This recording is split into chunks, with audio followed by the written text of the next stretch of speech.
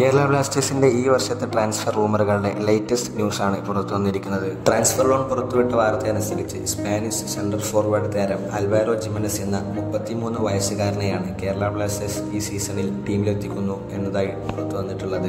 La Liga അടക്കമുള്ള Spanish ലീഗുകളിൽ കളിച്ച് പരിചയസമ്പത്തുള്ള ഇദ്ദേഹത്തെ വൺ ഇയർ ലോണിന്റെ അടിസ്ഥാനത്തിൽ ബൈയിങ് ഓപ്ഷനോടുകൂടിയാണ് കേരള ബ്ലാസ്റ്റേഴ്സ് ടീമിലേക്ക് എത്തിക്കുന്നത് എന്നാണ് അറിയാൻ കഴിയുന്നത്. നാല് കോടിയാണ് അദ്ദേഹത്തിന്റെ മാർക്കറ്റ് വാല്യൂ ആയി കാണിക്കുന്നത്.